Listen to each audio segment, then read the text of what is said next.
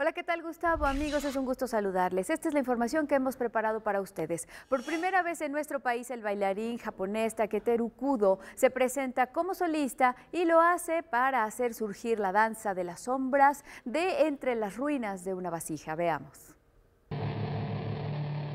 La vocación de Takeretu Kudo dio un vuelco repentino cuando estaba en la universidad y gracias a ello hoy es uno de los más grandes exponentes de Buto en el mundo. I started late. I started Buto and dancing activity in my uh, university student days. I was learning literature.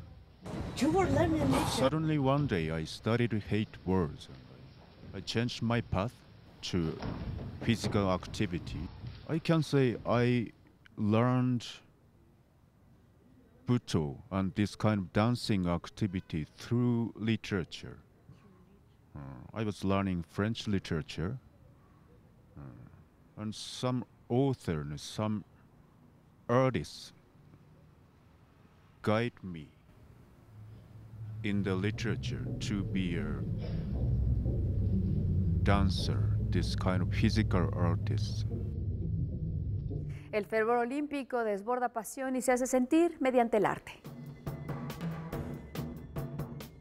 La pasión de Antonio Espinosa por el arte y por el deporte lo llevó a imaginar y luego planear la exposición El arte olímpico en Latinoamérica, México 68, Río 2016, que se inaugura este viernes en el Centro Cultural Brasil-México.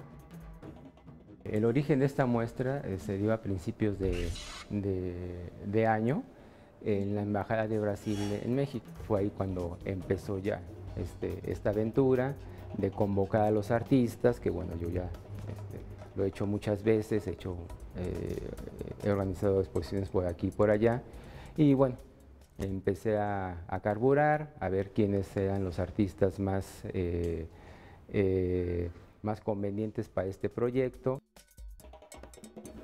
Hasta aquí la información, Gustavo, regresamos contigo.